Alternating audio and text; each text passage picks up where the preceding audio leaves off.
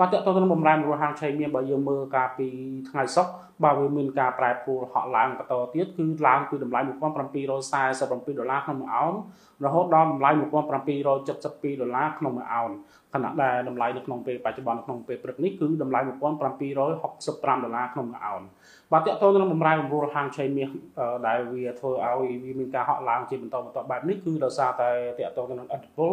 ទៅលើទិន្នន័យរបស់ CPI របស់សហរដ្ឋអាមេរិកដែលមានការចេញផ្សាយកាលពីថ្ងៃពហុតែវានៅបន្តជះឥទ្ធិពលទៅលើបំរែបំរួលហាងឆៃមាសតែធ្វើតម្លៃមាសវាមានការកើនឡើងដោយសារតែលើដុល្លារវាមានការធ្លាក់ចុះផងដែរបាទគូរំលឹកផងដែរតកតងទៅនឹងទិន្នន័យ CPI របស់សហរដ្ឋអាមេរិកគឺជាទិន្នន័យមួយបង្ហាញពីសន្ទុះអតិផរណារបស់សហរដ្ឋអាមេរិកបាទក៏ប៉ុន្តែទោះបីជាយ៉ាងណាក៏ដោយអ្នកវិនិយោគទាំងអស់គឺនៅតែបន្តរងចាំមើលថាតើសន្ទុះ CPI នៅក្នុងខែក្រោយឬក៏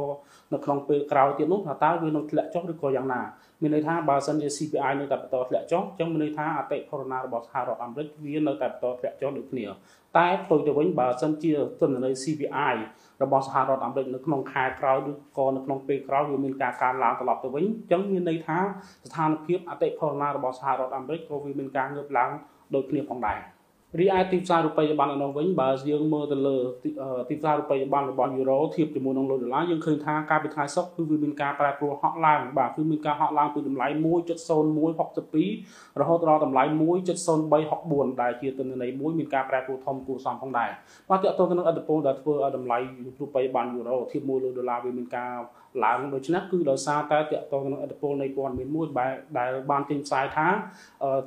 ធនាគារកណ្ដាលរបស់សហគមន៍អឺរ៉ុបនឹងធ្វើការដំឡើងអត្រាការប្រាក់នៅក្នុងកិច្ចប្រជុំខែក្រោយនេះបាទខណៈដែលការព្យាករណ៍របស់គេនោះគឺគេព្យាករណ៍ថា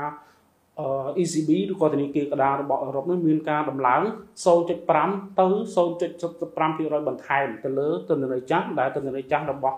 ECB នោះគឺនៅក្នុងតម្លៃ2.0% សម្រាប់ឯរូបិយប័ណ្ណផោនដែលជារូបិយប័ណ្ណរបស់ចក្រភពអង់គ្លេសអស់នោះវិញក៏វាមានការងើបឡើងផងដែរបាទកាលពីថ្ងៃសុក្រគឺវាមានការងើបឡើងពីតម្លៃ1.1647រហូតដល់តម្លៃ1.1854ដែលជាទិន្នន័យមួយមានការប្រែប្រួលធំគួរសមផងដែរខណៈដែលតម្លៃឥឡូវគឺ